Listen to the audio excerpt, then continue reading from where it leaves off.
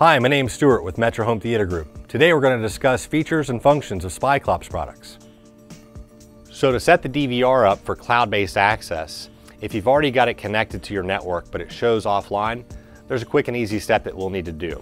Uh, first, to make sure that it is connected to the network, we're going to right click and we're going to select System Setup. Then we'll select Network Setup. And then we'll see if there's a, a nine digit number showing.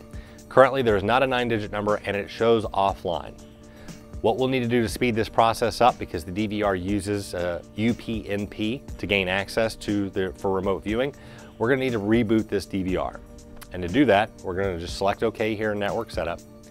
We're gonna right click, we're gonna select Exit System, and then we're gonna select Reboot. When it asks you if you're sure you wanna reboot, you wanna tell it yes.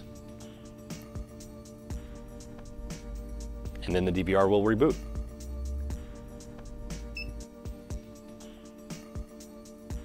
Now that your DVR is reboot, sometimes it can take a couple minutes, uh, but in this case, we're now switched to, and we see now it's switched from offline to online, and that means this unit is now ready for remote viewing.